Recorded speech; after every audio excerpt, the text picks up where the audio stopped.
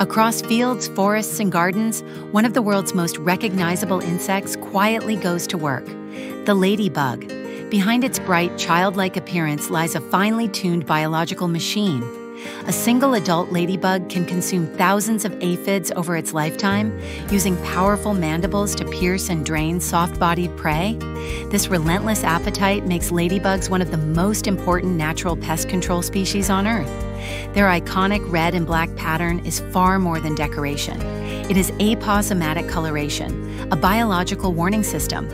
When a predator gets too close, the ladybug releases a yellow, foul smelling chemical from its leg joints, a process called reflex bleeding.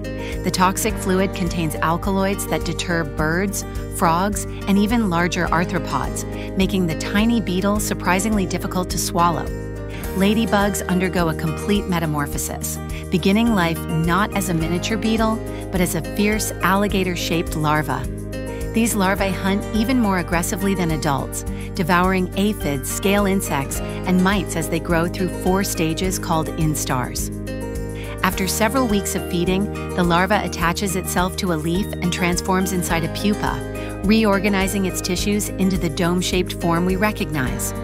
With over 5,000 species worldwide, ladybugs are astonishingly diverse. Some are bright orange, yellow, or even spotless black. Others mimic wasps to intensify their warning signals. The number of spots has nothing to do with age or luck. It's determined genetically by species, but the pigments do fade over time, giving older individuals a paler appearance. As winter approaches, ladybugs begin an ancient ritual called diapause. Guided by chemical cues and instinct, thousands migrate to sheltered places rocky crevices, forest floors, or the walls of homes.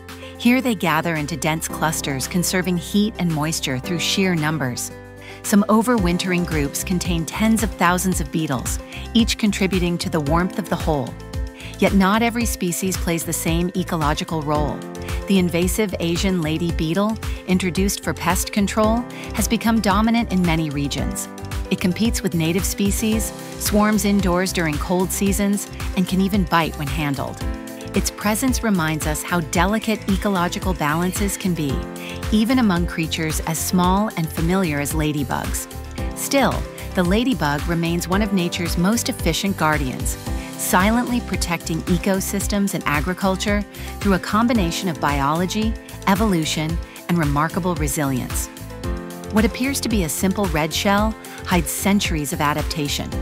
A tiny beetle designed by nature to be both beautiful and formidable.